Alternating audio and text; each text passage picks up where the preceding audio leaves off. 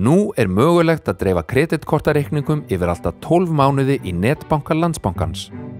Greiðsludreifingin hendar vel til að mæta óreglulegum útgjöldum eða til að létta greiðslubyrði tímabundið.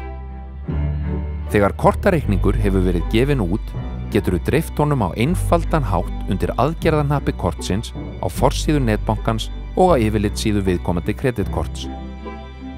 Það er einfalt og fljótlegt að dreifa kreditkortareikningum í netbankanum. Þú velur hve háa uppæð þú vilt greiða á næsta kjaldaga og á hve marga mánuði þú vilt dreifa eftir stöðunum. Þegar þú hefur valið uppæð og lengt greiðsludreifingar, færðu upplýsingar um áætlaðar afborganir og kostnað. Því næst staðfestir þú nöðsynleg skjöl og samþykir dreifingu kreditkortareikningsins.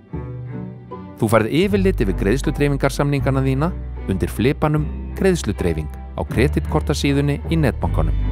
Hægt er að hafa alltaf þrjá virka greiðsludreifingarsamninga í einu að samanlagðri upphæð 700.000 krónur.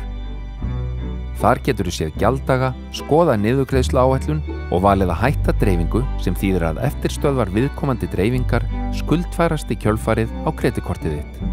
Þú farið nánæru upplýsingar um greiðsludreifingu kreditkorta á landsbankin.is skástrygg greiðsludreifing eða hjá ráðgjafa í næsta útibúi. Landsbankin